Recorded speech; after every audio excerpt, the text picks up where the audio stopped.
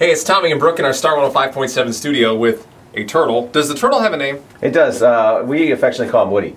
And Woody. I'll tell you why. Okay. Uh, because it's a wood turtle. So, Oh. just as my kids named our fish Swimmy, we decided for this one we call it Woody. So, So- What's a wood turtle? uh, a wood turtle, there's a number of species of turtle in Michigan, and this is one of them that you'll find. Why is he so Um, fast? Um, they actually will move about, you know, 400 um, or 600 feet in a day. So they'll travel quite comparable a you, distance. Hey. They'll travel quite a distance actually to go find mates, uh, find food, and find good places to lay eggs. He's looking for a woman. Yes. That's why he's going so, so fast. yes, so Okay. this time of Can year, you blame him? Uh, that is the case. You got to So, keep up with us. They're pretty amazing, um, and they're actually a species of special concern in Michigan.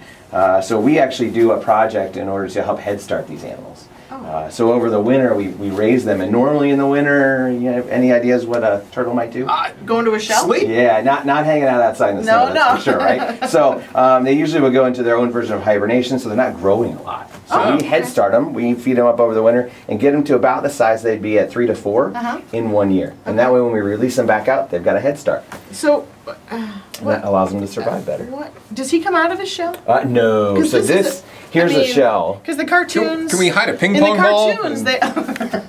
You could, you could do the shell game. yeah, so it's like Turtles under the shell, maybe. we move one Right, to the other. right. No. Uh, so you, what you're seeing is literally a modified backbone. So this is um, their bone. You can see in here that backbone that's in there. So they don't jump out of the shell. They can't walk out of that shell. that's a- the backbone. That's a cartoon. The, all the cartoons, they slip right out of there. They're I know. slippery little buggers. Right to the next one. You know? uh, hermit crabs, a different story. They actually do pop from one to the other. They'll go find a new shell and go into Good those. Lord, but these guys don't. not so much. All right, so. okay, All right. Uh, right, we didn't bring one of those on today. There's something about happening with the zoo that we how people can help with turtles and what's this guy over This here? is a uh, gray tree frog, another tree frog you'll find locally.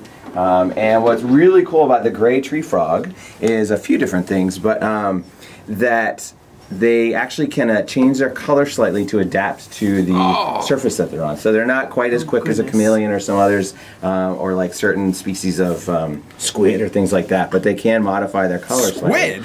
to uh, to blend in. How many really the, cool. how many different kinds of frogs are there? oh gosh, uh, I, I Trick question. I couldn't even tell you to be honest. Which one, Um, if I kiss it, becomes a prince? Uh, hmm, let's see. It, will it? Will this guy? I haven't about- tried it yet. You I haven't Now's tried your it yet. chance. Can I she kiss try the it, prince? But Can you kiss uh, the let's frog? see what happens. Okay.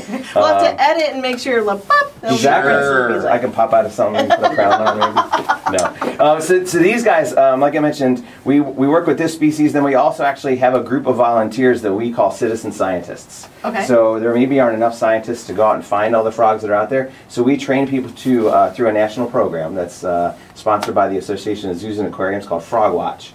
So we have a bunch of frog watchers. Frog watch. And they don't watch. They're actually you, they're really frog. New reality They're show. frog listeners, really, is what they are, because uh, you're not going to see these guys very easily. You're going to Okay. hear them. Ah. If you go out at night, anytime this time of year, you're going to start hearing all kinds of sounds back in the Yeah, background. And a lot of those are different species of frog. And you think they're crickets, but they're Some, frogs. some of them, yeah. So you'll hear this low trill in the background. That's Mhm. actually an American toad.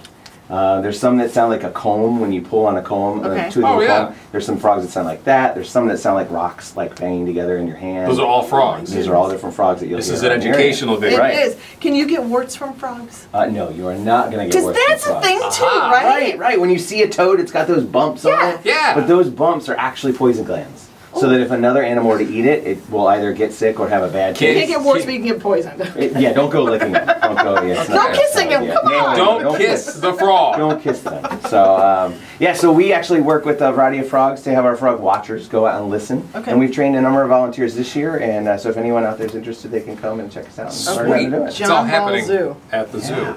I feel bad for this turtle. He's like going five inches and then back. Five inches. What happened if you let him go? How far would he go? We'll find out.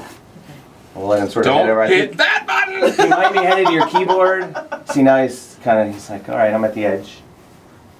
Now he's just chilled. I know. Oh, see? Oh yeah, now he's looking at me. This Checking is you when the out. Uptown Funk. Do it. Anything? So this this weekend at the zoo actually is our party for the planet. So at the zoo we have our Earth Day. Thank you very much. We have our Earth Day celebration just a little bit later than Earth Day. Okay. Um, in order to sort of, there's a lot of stuff that happens on Earth Day in this community. Yes. Because everyone wants to get out and be active. So this weekend is ours, and we partner with about 24 different institutions. Our lead sponsors are Orkin and Kohl's. So we're going to have the uh, Kohl's associates um, out on the at the zoo volunteering to help us out with activities.